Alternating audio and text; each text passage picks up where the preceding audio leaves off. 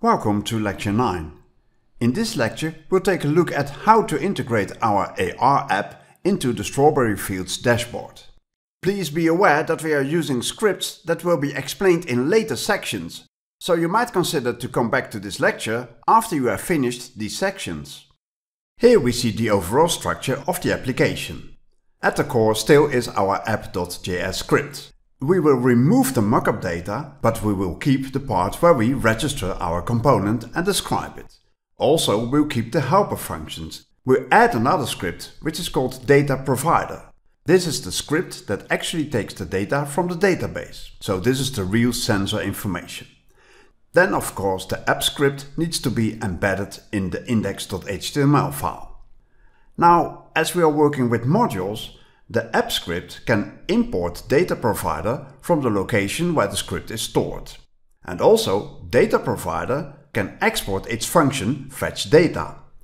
Embedding the app script into the index.html file requires us to add the attribute type and set it to module and the attribute async and set it to false.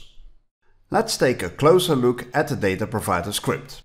The script reuses a lot from what we already know from the dashboard script. So connecting to the database and retrieving data is as we have seen before. When importing the Strawberry data utilities, we need to take care that we change the path because our AR application is located on a different location at the server. Looking at the fetch data function, we see we first instantiate a new variable called underscore sensor values. This is the object that will replace our old data object where we stored the mockup data. In fact, the fetch data function will hand over this object to our app script. Further, we fetch data in an async manner just as we did in the dashboard script. We await the response and JSONify it. Then we create the data frame using the Strawberry data utilities, which we have imported. The data frame is the starting point for the values we want to store in our sensor values object. We do so by filtering out each of the sensor data types, put them in an array and select the last item in that array. That's the value we want to use. This is how the code looks for the temperature bar.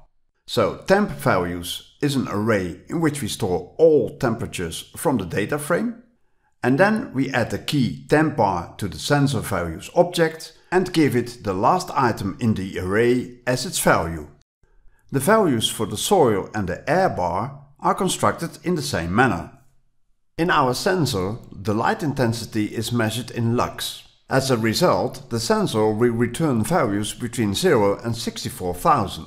Lux values are not very easy to comprehend and not so many people will have a clear understanding what it means when the lux value varies for example between 16 and 32,000. Therefore we use this paper and the proposed algorithm to scale lux values into 10 steps. Filtering the light intensity data from the data frame follows the same strategy as before.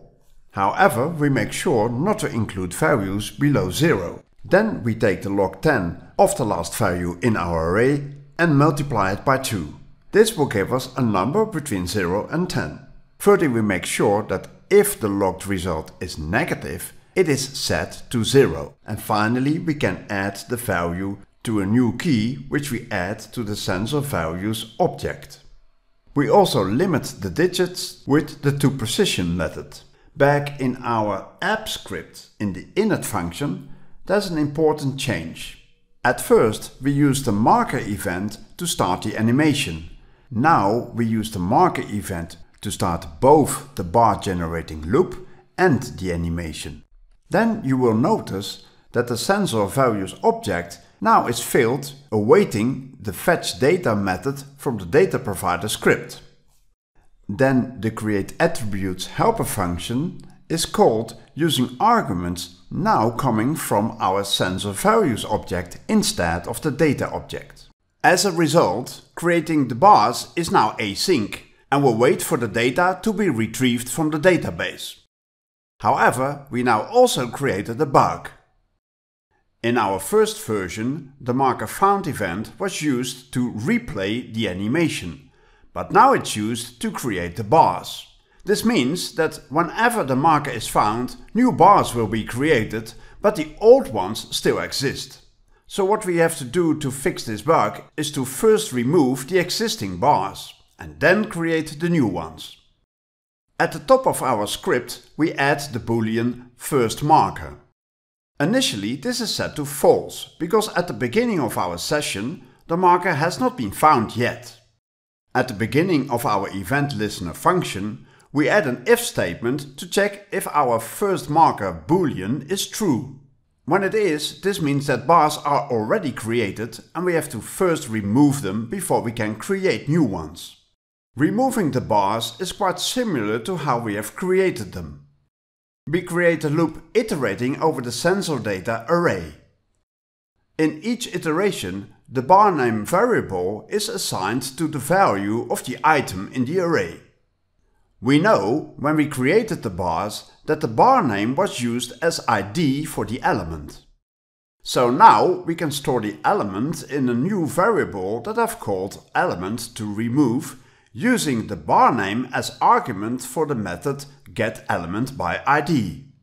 And then we can use the removeChild method on the bar area element. As argument we give in the element to remove in which we have stored the element that we want to remove. Iterating over all items in the sensor data array, this will remove all bars or all A-box elements and also their children, which are the A-text elements that contain the values. Then we close the loop and the if statement, and the rest of the script in which we create the bars and values will remain as it was.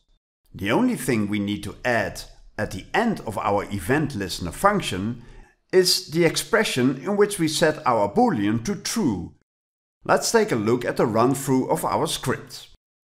We declared the boolean first marker, which is set to false. This means when the marker is found for the first time, this boolean will be false and the script removing all bars will be skipped. So all bars will then be created and the boolean will be set to true. Now any next time the marker is found, the boolean will be true. Thanks to the if statement, now all bars will be removed and then created again. And because whenever new bars are created, also the sensor values object will be updated using the fetch data method in our data provider script. This means that whenever the marker is found again, the dashboard will be refreshed with the latest data from our database. And that's it. Now we have a fully integrated AR application in our dashboard.